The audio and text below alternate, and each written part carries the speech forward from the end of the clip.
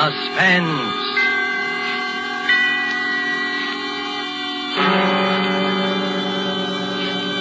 Presented by Roma Wines, made in California for enjoyment throughout the world. Salute. Your health, senor. Roma toast the world. The wine for your table is Roma, made in California for enjoyment throughout the world. This is the man in black, here for the Roma Wine Company of Fresno, California, to introduce this weekly half hour of Suspense. Tonight in Hollywood, Roma brings you as star Mr. Peter Lorre. The suspense play which stars Mr. Lorre and which is produced and directed by William Spier is called Back for Christmas. In this series, Roma brings you tales calculated to intrigue you, stir your nerves, to offer you a precarious situation and then withhold the solution until the last possible moment. And so with Back for Christmas and with the performance of Peter Lorre, we again hope to keep you in suspense.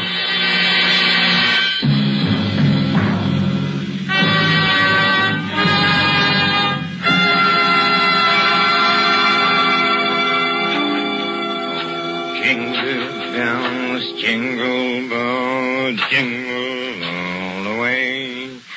Oh, what fun it is to ride one with you. Hey, yes, Maria. What on earth are you doing down here in the cellar? Oh, we're just doing a little digging. And why, may I ask, have you chosen this day of all days to dig up the cellar floor? Oh, I thought because the weather has been so damp, this would be a good time to plant that little devil's garden I told you about. Devil's Garden? Whatever nonsense is that? Don't you remember that was my little joke about it? You see, uh, I've managed to get hold of the spores of several unclassified wild orchids. In a wild state, they bloom under damp masses of leaf mold. The South American Indians call them devil flowers because they appear to bloom underground. Well, I'm sure the South American Indians will be very interested if you succeed in growing these ridiculous flowers under the cellar floor. Whom else it will interest, I can't imagine. Oh, what's that terrible smell? Oh, that's the leaf mold, uh, chemically identical with the earth blanket they grow under in their wild state. And I want to get these started before we close the house. Do you realize that we're sailing for America a week from today and you've made no arrangements whatever? Unless you call digging a hole in the cellar making arrangements. I certainly don't. Devil's garden, indeed. Sometimes I think you're going soft in the head, Hubert. Oh, I, I suppose it is inconsiderate of me. You see, and I've been wanting to try this experiment for a long time, but uh, with all those lectures and seminars at the university, there, there never seemed to, to be enough time. Well, there certainly isn't any time for it now. I suppose you've forgotten I made an appointment for you at the barber's this afternoon. Oh, oh, must I shave my beard off, Hermione? I thought we'd been through all that. Of course you must. They don't wear beards in America. Bad enough you're speaking with that accent. They'll probably think we're Germans as it is. Oh, I should think it would be quite easy just to explain that I'm Swiss. Now, Hubert, don't be argumentative. Oh. Go and get your jacket on and do as I tell you. Yes, Hermione. And don't forget to take your umbrella. It looks like rain. Yes, Hermione. And don't look so put upon, Hubert. Someone has to plan things in this house. Never even get to the university in time for your lectures, much less make arrangements for a trip to America. I know, but but what about my specimens? There'll be plenty of time to plant your precious devil's garden when we get home from America. We're not going to be gone forever, you know. We'll be back for Christmas. Yes, of course. Back for Christmas. I'd forgotten. We'll try to remember it. And if you can't do that, just do as I tell you. I've been making the plans in this house for 20 years. And if there's any digging to be done, I'll manage that as well. You understand, Hubert? Yes, Hermione. Good. Now, you have just uh, 20 minutes to clean up this mess down here and keep your appointment at the barber's. And when you finish there, I want you to come straight home. All right. Oh, oh, I, I wanted to stop at uh, Miss Markham's and pick up some books I ordered. Well, all right. But don't loiter there the whole afternoon mulling over those old books the way you usually do. Now hurry and clear up this rubbish. Get rid of that smelly stuff. And no more digging, mind you. No more digging. I'll show her. I'll have my devil's garden, and if I... No more digging, eh? No more digging. Oh, fifteen men on a batsman's chest.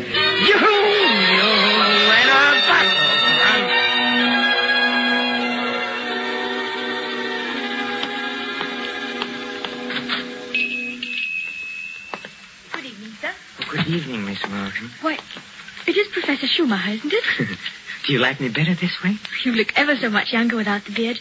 Twenty years at least. Twenty years. Oh, you'll be glad to know those books you ordered have finally arrived. Twenty. Uh, oh yes, the books. Let me see. The, the phytotomy of phalloid gametophytes Mhm. and uh, coniferous shrubs of North America. Those are the Ah, ones you ordered, aren't good. they? Yes, thank you. You're very kind, Miss Markham.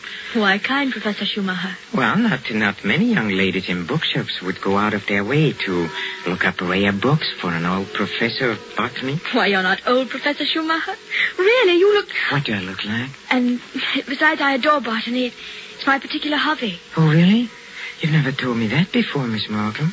Well, I was afraid to. You, looked so imposing with the beard and all. I- Oh, oh uh, Miss Markham, uh, forgive me if, if this sounds foolish, but since talking with you today, I, I feel that shaving off my beard is the most important thing I've done for 20 years. Oh, it Yes, is. I, I, I'm sure it is. For 20 I'm- I'm so sorry that I've been so distant with you all this time.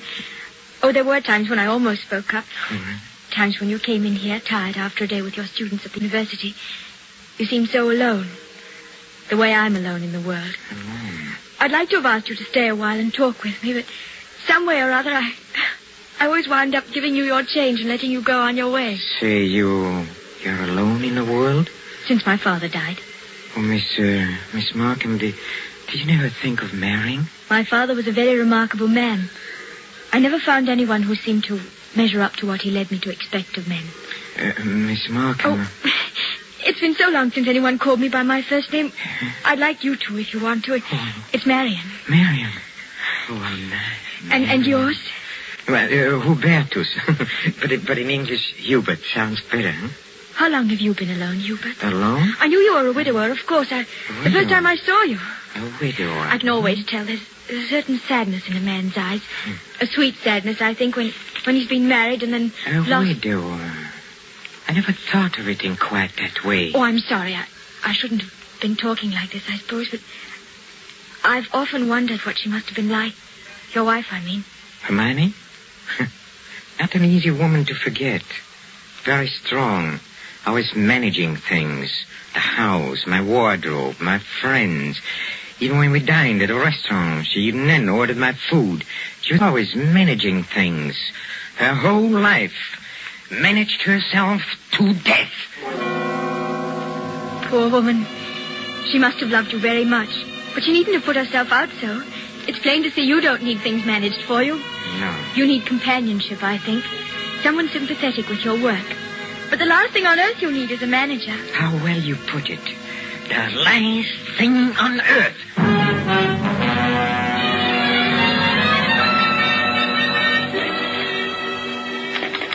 Operator, operator, are you there? I'm still waiting on that call to Salisbury. Well, put them on quickly. Hello. It's Paul Holden, son. It's Mrs. Hubert Schumacher. Did you receive my letter? Good. Now remember, we'll be back for Christmas and I want the job done without fail. What's that? No, no, I'm sure he doesn't suspect anything. Send it to me in New York as I instructed you, addressed in my name, of course. Yes. I've already put them in the mail. You'll get them tomorrow. Thank you. Uh, Thank you so much. Oh, here you are, Hubert. Where have you been? Oh, backstairs. I dismissed the servants. Dismissed the servants. Mm-hmm. But I've asked some friends of mine into a farewell luncheon. Go and tell them it's a mistake. Well, uh, I'm afraid it's too late now. They've packed and gone. You have messed things up properly. How many times have I told you to leave things to me? I make the plans around here. Yes, Hermione. You have to do better than this when I plan the trip home, or we'll never in the world be back for Christmas.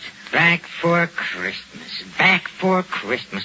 Must you keep saying that? Why not? We are coming back for Christmas, aren't we? Well, supposing I, I were offered a professorship in one of those wealthy American universities. Nonsense. Americans care nothing for botany. Well, Luther Burbank was an American, wasn't he? That's different. What have you ever done except muck around in the dirt with a lot of roots and tubers? Well, they asked me to lecture, didn't they? All right, all right. Now, there's no use getting yourself in a state about this, Hubert. No doubt this extra money will come in very handy when we arrive back, Back for Christmas. Christmas, know. Precisely. No good to make a joke of it. Heaven knows where you'd be today if I hadn't got a sense of time. Yes, Hermione. And as you've been so foolish as to dismiss the servants, you may empty the ashtrays and straighten up this room while we're waiting for the guests to arrive. Hmm. I'm going into my bath. Call me when they get here.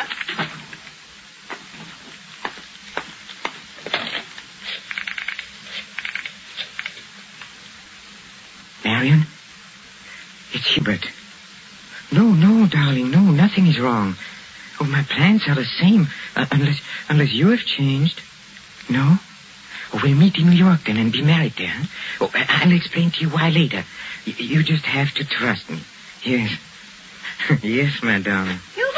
Oh, I'm so sorry I can't talk any longer. Yes, I'll meet you in New York without fail. Auf Wiedersehen, mein Liebchen. Hubert, were you talking on the phone just Huh? now? Uh, um, yes, uh, yes, Hermione. Whoever was it? Oh, Freddie, Freddie Sinclair. But didn't I hear you say something about meeting somebody in New York? Uh, why, yes. Uh, uh, Freddie said he might possibly get over there before we even leave. And, and I said, of course, we'd meet him there if he decided to go. That seems very peculiar. But then all of your friends are peculiar. yes, Hermione. And just look at your jacket. Have you been digging in that cellar again? Yes, Hermione. Well, there's no need for it. You can't possibly get that Devil's Garden thing finished before we sail for America. Go and change your clothes before the guests arrive. Oh, never mind. I see somebody coming up the walk now. Go let them in. Yes, Uh, Hubert, yes. look out the window. There's Professor and Mrs. Goodnow, but who's that with them? Well, who... Uh, Precisely. Freddie Sinclair. Peculiar you should have been talking to him on the phone not three minutes ago, and now here he is. yes, isn't it? oh, but then, as you see, Hermione, all of my friends are peculiar. Not half so peculiar as you. Digging in the cellar the very day we leave for America. Just look at yourself. And now that I think of it... Yes? Oh, never mind. Uh, go and let them in. Oh, uh, you were going to ask me something, Hermione, about uh, the hole I'm digging in a cellar. Good heavens, stop rolling your eyes about that way. One would think you were digging a grave down there instead of a storage bin. Yes, Hermione. What's that? I said yes, Hermione. Father, open the door and please stop saying yes, Hermione. I think, my dear, I've said it for the last time.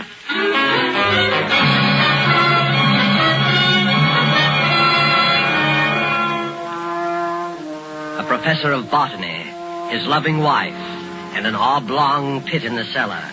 Just the right size for his botanical specimens, his devil's garden. With these ingredients for a story of a perfect crime, Back for Christmas by John Collier and starring Peter Lorre, the Roma Wine Company closes the curtain for a moment on another breathless study in suspense.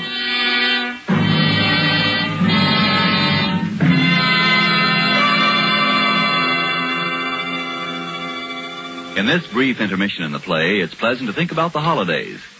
Not everyone celebrates the holidays against a background of snow and pine trees. Somewhere south of the Gulf and the Caribbean, in a gracious home surrounded by palm trees in the warm sun, you might find holiday dinners ending this way. One moment, please. Our North American guest wishes to propose a toast. Yes, mis amigos. I drink a toast in gratitude to you for your gracious hospitality and the enjoyment you've given me, an American so far from home. It is only a fair exchange, my friend. This wine in which you drink your toast, it brings enjoyment to us from your country, from America. It is Roma wine, made in your own California. Yes, and when you choose the wine for your holiday table, remember this. Only a few wines are so fine that many countries of the world import them. And among these greatly enjoyable wines are the wines of Roma. R-O-M-A. Made in California for enjoyment throughout the world. Yet here in America we are truly fortunate. For we may buy Roma wines at a very low cost, since we don't have to pay import duty or costly shipping charges. So serve Roma wine with pride on any and all holiday occasions. Serve Roma too for everyday dinners. You can afford to. Ask your dealer tomorrow for your favorite Roma wine, America's largest selling wine. But before you buy wine, buy war bonds. And now it is with pleasure that we bring back to our soundstage Mr. Peter Lorre in Act Two of Back for Christmas. A tale well calculated to keep you in suspense.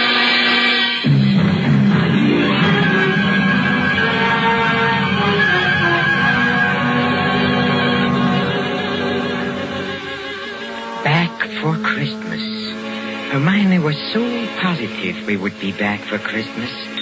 That last afternoon, pouring tea out for a few friends who had come in to say a last-minute farewells, she kept reiterating it. Now, mind you, Hermione, don't let those Americans lure your husband with one of their fat university jobs.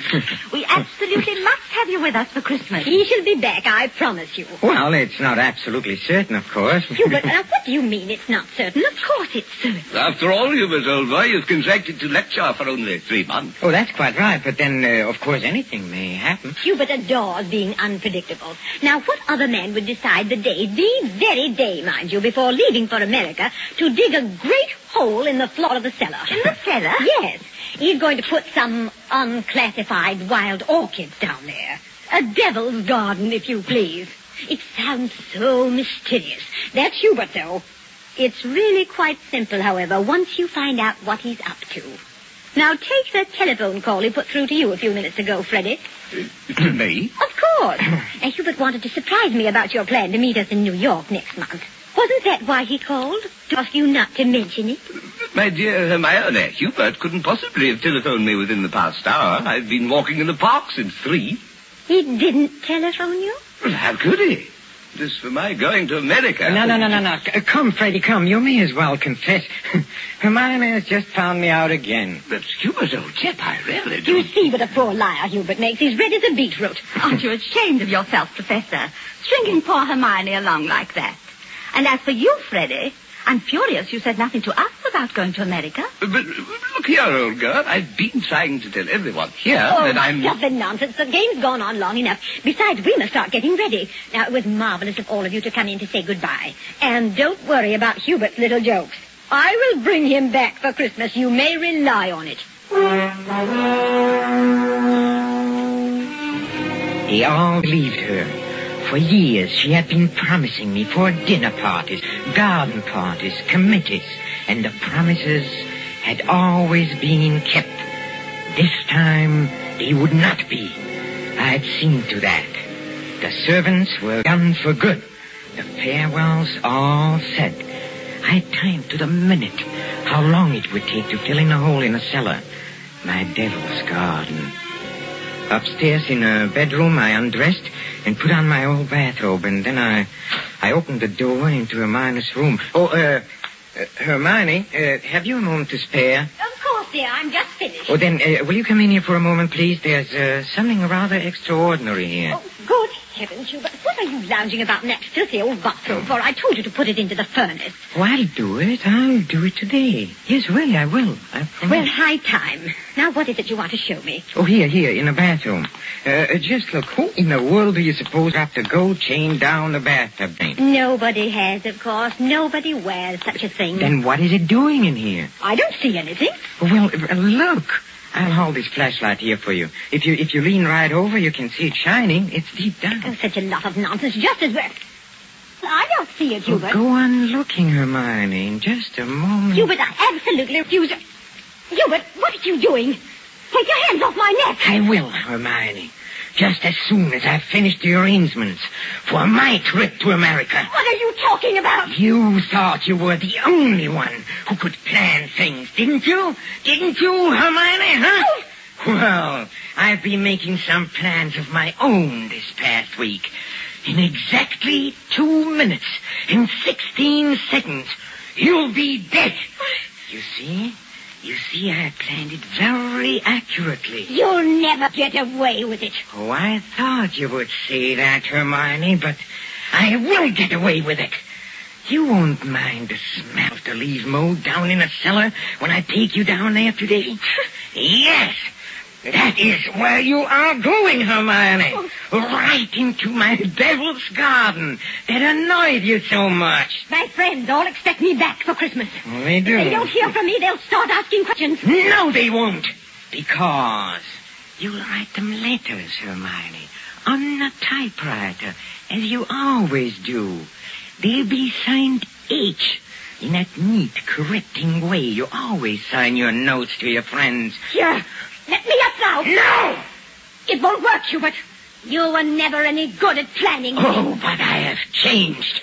I've learned from watching you all these years. Select you people in America.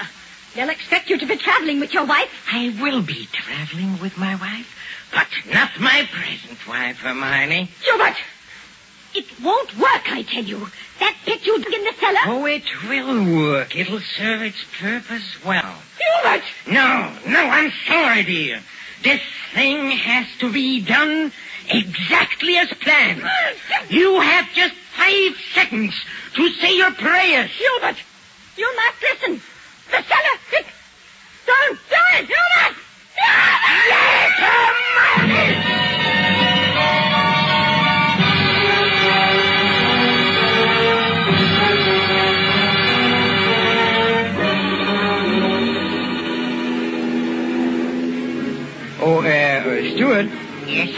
Oh, uh, my wife, she's indisposed. She, she'll be taking her meals in our stateroom. For the whole voyage, sir? Yes, for the whole voyage. I trust your wife is feeling better this morning, Professor Schumacher. A, a little, uh, not yet well enough to leave her cabin. Oh, what a shame. Oh, Professor Schumacher. Yes? Here's a copy of the radiogram you sent for your wife last evening. Oh, thank you. I'll just check it over. Oh, but, but look, look here. Why? What's the matter? Did the typist make a mistake? No, no. it's nothing important. She, she can correct it later. For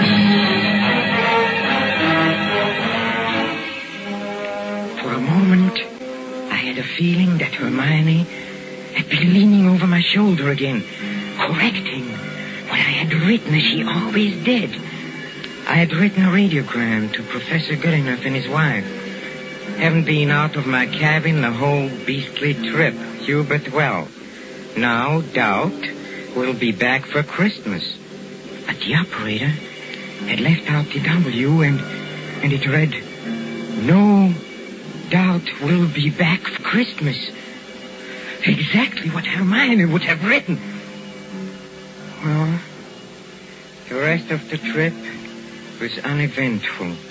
Marion and I met in New York just as we had planned. Just as we had planned.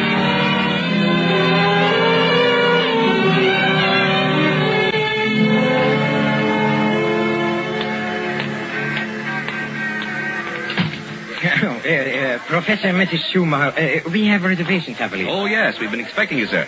Boy, take Professor and Mrs. Schumacher's luggage up to their suite. You know, Mrs. Schumacher, you're quite a surprise. Oh? Your letter reserving the rooms was so thorough, I was expecting an older, more forbidding sort of person, frankly, ma'am. No. As a matter of fact, we're just married, but I.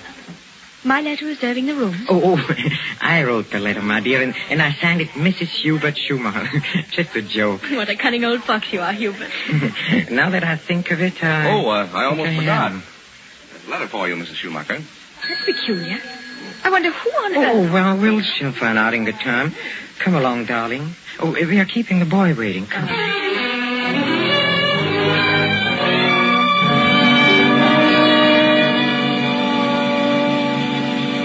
Oh. Nothing like a cold brick shower to put a man to rights. Hubert, this letter. oh, yes, the letter. Oh, uh, dry my hair, will you, darling? Please. It seems to be a bill of some sort from a building contractor in, in Salisbury. Oh, really? Oh, bother, dry your own hair. Thank you, darling. Uh, uh, let's see this bill or whatever it is. It's very puzzling. Hubert, you were a widower, weren't you? I mean, Mm. Hermione isn't still alive. Good heavens, no. well, let me read that. Mm-hmm. Dear Madame, this is to acknowledge your order to, g- together with the keys to your house in Launceston Place. Our man had no difficulty in finding the place where your husband had begun the excavation in a cellar, but apparently he changed his mind at the last moment and filled it in again. What is it, Hubert? Our men will begin digging tomorrow, and and their job will be completed in ample time for your surprise Christmas present to your husband. We are happy to be conspirators with you in this thoughtful gesture and hope that Professor Schumacher will be pleased at the results of our work on his Devil's Garden. Very truly yours, Paul Holt Sons Contractors. What does it mean, Hubert? Means, means that Hermione was right. I will be back for Christmas. I will be back for Christmas. I will back for Christmas. Back for Christmas. Yes, Hermione.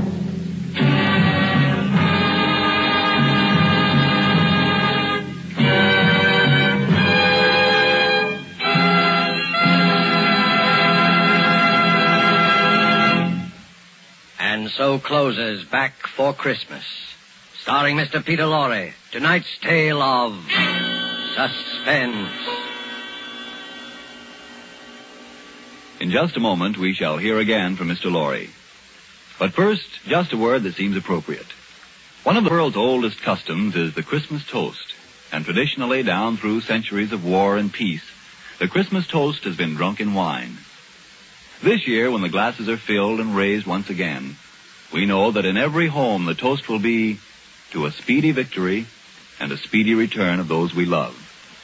And before we set the wine glasses down, let us all resolve to do everything within our power to help make that toast come true. Let us resolve to help supply the weapons of war by buying even more and more war bonds. Let us resolve to face our own inconveniences without complaining. And above all, let us resolve that when this war is at last over, each of us will exert all our effort to see that future Christmases truly express peace on earth, goodwill to men. This thought, together with our very best wishes of the season, is the Roma Wine Company's Christmas message for you, its friends, here in America and throughout the world. This is Peter Lorre. Thank you for listening to our suspense play this evening, and I know you're looking forward to next week's show as I am. It is called uh, Finishing School, and its subtitle might be the famous quotation, The female of the species is more deadly than the male. Don't forget then, next Thursday, same time, for Margo, Elsa Lanchester, Janet Beecher, and a distinguished all-feminine cast in Suspense. Presented by Roma Wines, R-O-M-A. Made in California for enjoyment throughout the world.